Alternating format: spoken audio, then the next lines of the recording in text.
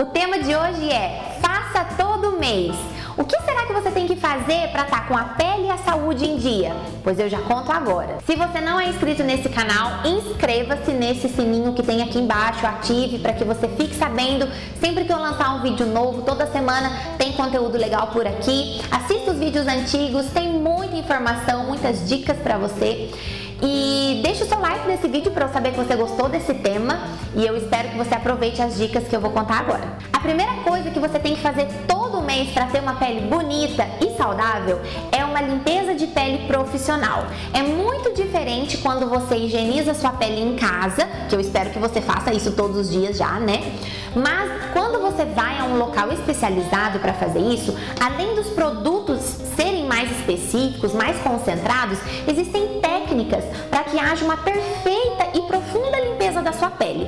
Isso é importante por quê? Porque quando você usar os seus produtos em casa, seu hidratante, o seu filtro solar, a absorção desses produtos vai ser melhor, porque a poeira, a sujeira, a poluição que está no ar, até o de maquiagem, de produtos que você usa diariamente na pele, vão se acumulando, obstruindo os poros, favorecendo a formação da acne e atrapalhando as trocas gasosas da pele, quando a gente brinca que a pele não consegue respirar. A segunda coisa que você deve fazer todo mês é com certeza uma esfoliação e uma gomagem corporal. Existem produtos específicos para que a gente trabalhe com a pele do corpo para que haja uma renovação celular. Então, primeiro é feita uma esfoliação mais completa e em seguida uma hidratação bem profunda produtos que têm a capacidade de estimular a produção do colágeno, trazer vitaminas e nutrientes para que a sua pele possa se regenerar bem.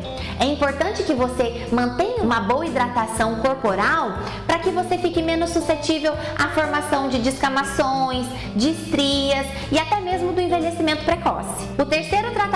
Na minha opinião, você deve fazer todos os meses para que tenha uma boa saúde é o detox iônico. Nós já falamos sobre ele aqui também. E se você perdeu essa dica, tá lá nas minhas redes sociais, no YouTube, mas eu explico um pouquinho agora. O detox iônico é um tratamento que através de alguns eletrodos a gente consegue fazer uma eliminação das toxinas, dos metais pesados que a gente vai infelizmente absorvendo por causa do nosso dia a dia, através da poluição que respiramos, da água contaminada, de um peixe que veio com metal pesado, como chumbo, por exemplo, e até frutas e verduras que você consome com agrotóxicos. Então tudo isso vai roubando a sua saúde e sobrecarregando o funcionamento de alguns órgãos. E o detox iônico é a saída perfeita para resolver tudo isso. Então essas dicas foram dicas de ouro, hein? Anote aí, comece a cumprir e você vai ver uma melhora no seu bem-estar físico, emocional, porque quando o seu corpo vai bem, tudo vai bem. Um beijo e até semana que vem.